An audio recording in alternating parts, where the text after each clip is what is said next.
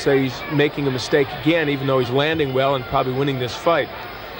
In this sixth round, Kalule not throwing many punches at all so far as we're halfway through the round. Leonard, though, has been throwing a lot of punches. One of Kalule's problems is that he does tend to slap with his punches and uh, often doesn't really get off the mark and fire, though in that last round he was doing it. Isn't it always the case after a big round for both fighters with a lot of punches thrown the next round they come out and uh, maybe just kind of catching their breath a bit? Yeah, this looks like a, a round in which, or at least part of the round, they're both taking a breather. Less than a minute to go in round six. Sugar Ray Leonard just flicking that left jab out. And Kalule flicks the right jab. Really is a surprise that Kalule isn't trying to put a little more pressure on Ray at this point. Been a very clean fight so far. The referee has not even had to break a clinch because there have been no clinches. There's the jab of Kalule, a punch that he was able to land in the last round, but in this one, uh, it's just not getting there. So this round six turning out to be what you could call a coaster round. Or maybe the calm before the storm. it's possible. This is Houston, Texas on June 25th, 1981. Sugar Ray Leonard and Ayub Kalule, and they mix it up at the end of round six.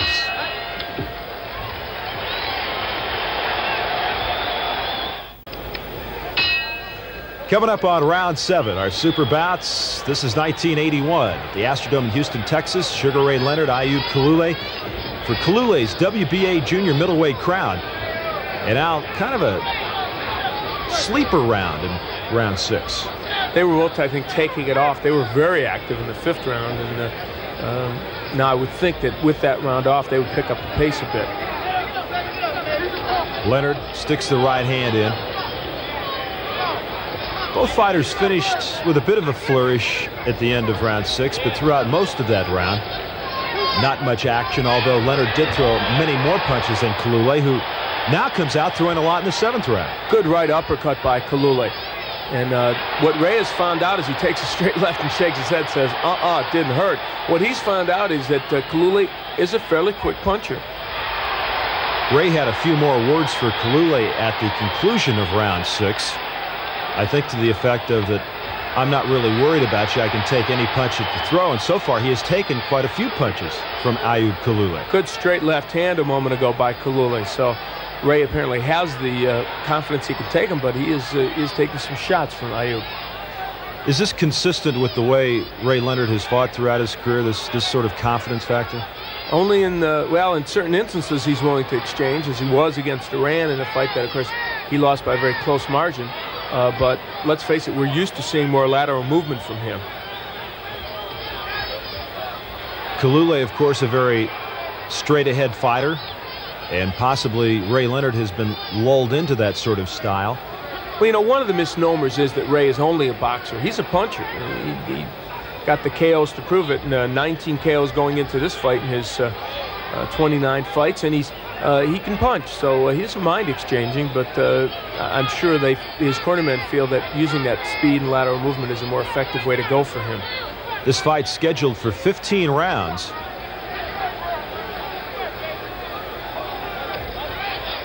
Low shot right there by Kalule, who has landed some effective punches in the seventh round. Leonard has been content just to kind of sit back and take it all in as Kalule lands a straight right.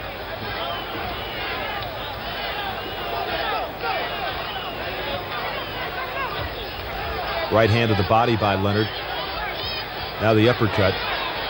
Kalule slipping punches uh, better, I think, than a lot of people thought he might. Oh, he did a great job right there. Good defense by Kalule. And he comes back and throws a couple of shots to the body. So an impressive round to this point by Ayub Kalule, originally from Uganda, fighting out of Denmark. As we come down to the conclusion of the seventh round, scheduled for 15.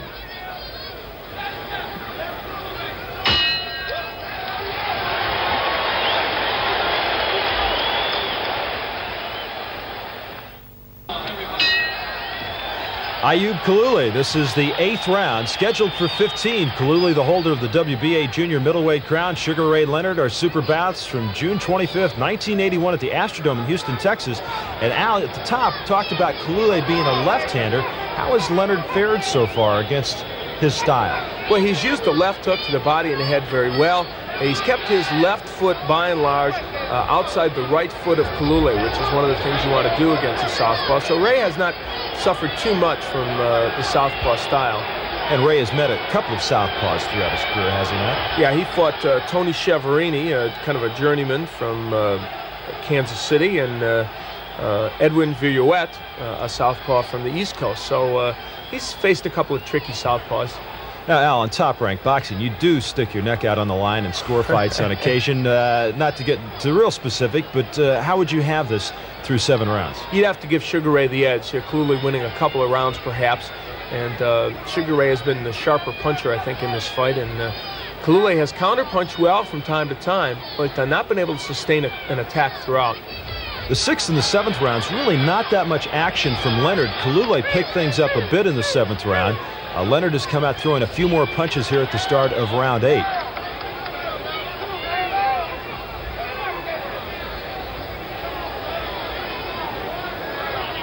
Leonard not really giving you that much movement as we saw early in the fight. Ray has landed the straight right hand occasionally, but not as much as he would want. There's an uncharacteristic Sugar Ray move, a wild left hook that missed. It looks like he's really trying to measure Kalule for that one big shot. He really is, and that, of course, is against what boxing purists think of Sugar Ray. Um, the fact is he can punch. He's got good punching power.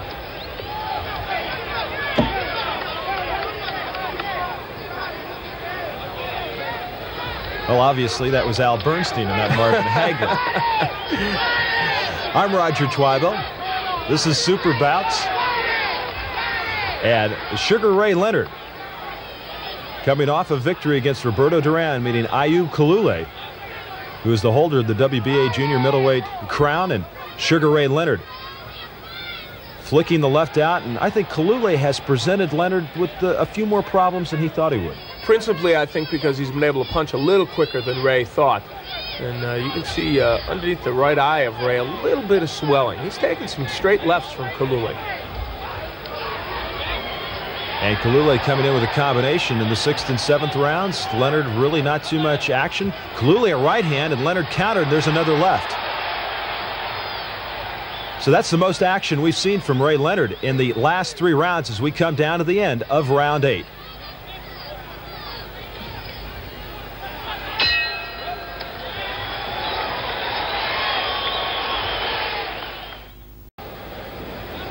Getting set for the ninth round, this scheduled for 15. Al, are you surprised that this fight has gone this distance?